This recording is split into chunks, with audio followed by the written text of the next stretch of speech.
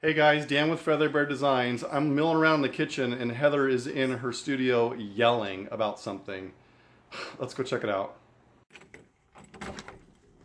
Ah! It, babe! What is going on?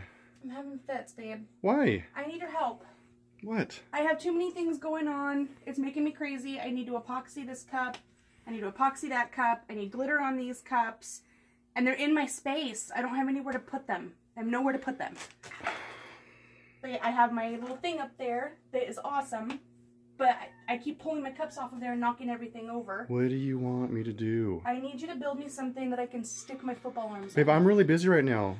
Please. I need it really bad. Babe. I, I need it. I need it really bad. Really, really bad.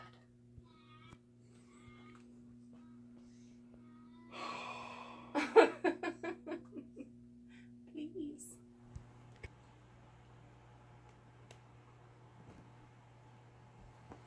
Okay, babe. Why are you so angry? I'm here to make your day. Look what I did. All right, explain this to me. Okay, so what I did was I went and got a 2x4. I don't know, this is only probably maybe three feet long. And I took the same drill hole bit that I used to make the holes for the sprockets for the multi-cup turner. Yeah. Really want to play with that. No, you don't get to touch my tools. And this is a one and a half inch, okay? And then I went along and I just all the way down, Okay, okay? That was really high tech. that was super high tech. That was like really it was like the official. scientific. Then I brought it in and I was like, how's that? This could mount on the wall. I use these little L bracket things like and it, so like mounts on the wall so you can put all your arms on there.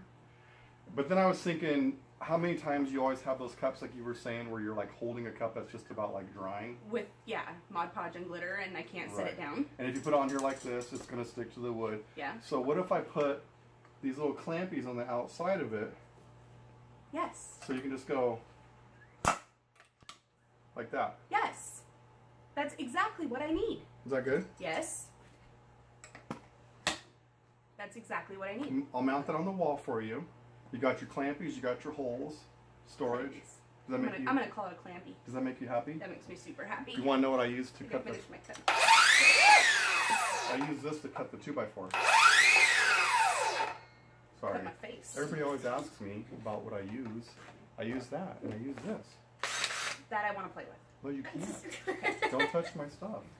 All right, you like that? I love that. Let's go mount it in there and see how it works. Can we right now? Yeah. Okay. Okay. You want me to get it? No, all done. How'd it come out? Uh, hey, Hi, babe. how's it going? Good. Do you like it? I'm stoked. What do you got up there? I'm You got a super couple, excited. couple things already Well, in yeah, there. because now I can have everything that's ready to come down here and be put on my turner for epoxy is ready to go. I don't have to set my naked glitter cups down and pick up all kind of other random glitters. Okay. It's perfect.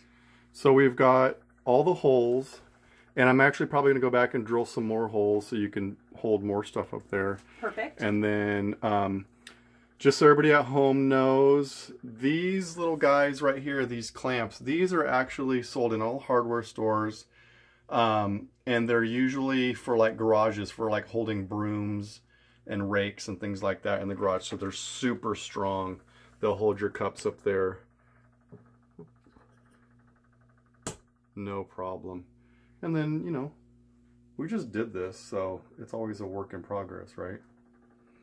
I'm excited. You like it? I love it. Yeah, that's perfect. That gets everything up out of my space that I'm working on. Okay. And it holds all my footballs so they're And not then- all over my room. And then we'll make more holes for the footballs and then plenty of space. All right? Yay, thanks, babe. Happy now? I'm stoked. Okay, I love you. I love you too.